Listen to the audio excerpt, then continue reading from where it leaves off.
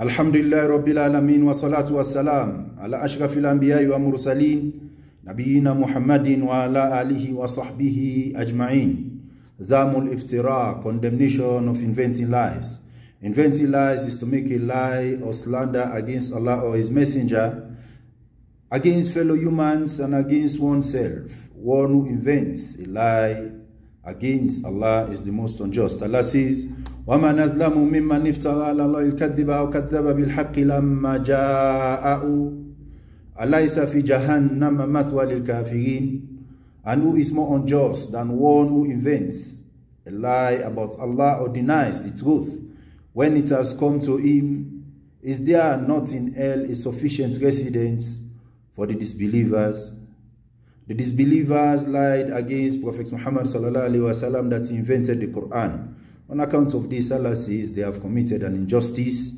and a lie. وَقَالَ الَّذِينَ كَفَرُوا إِنْ هَذَا إِلَّا إِفْكٌ افتراه عَانَهُ عَلَيْهِ قَوْمٌ آخَرِينَ فَقَدْ جَاءُوا ظُلْمًا وَزُورًا And those who disbelieve say this Quran is not except a falsehood he invented and another people assisted him in it, but they have committed an injustice and a lie.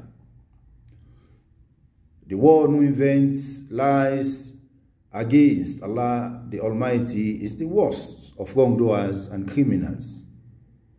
فمن افترى على الله الكذب من بعد ذلك فأولئك هم الظالمون Whoever invents a lie against Allah after that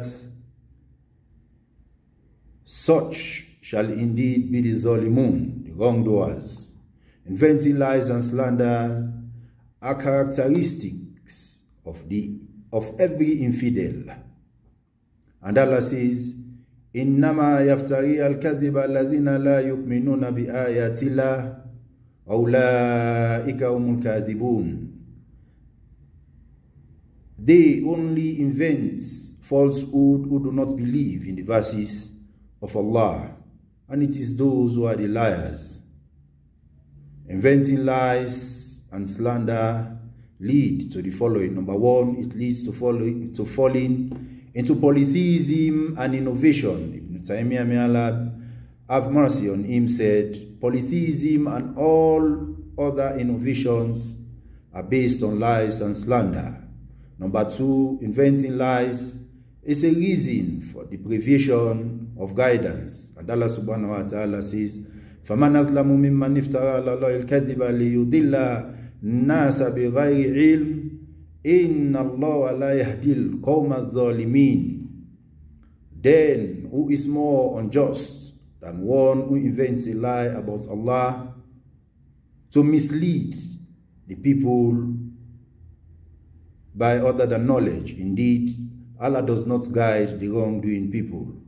It is a reason for not being successful.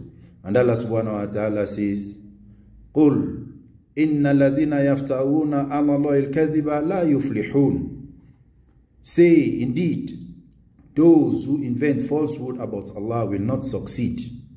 It leads to disgrace and humiliation. And Allah says, indeed, those who took the calf for worship will obtain anger from their Lord and humiliation in the life of this world.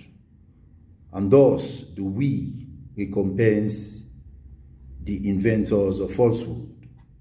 وَكَذَلِكَ نَجْزِي الْمُفْتَرِينَ Thus do we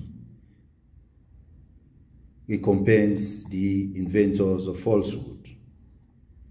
And the story of the Ifk incidents when the hypocrites falsely accuse the beloved wife of the Prophet Muhammad wasalam, Aisha radiallahu anha, may Allah be pleased with her. However, Allah subhanahu wa ta'ala revealed her innocence in the Quran.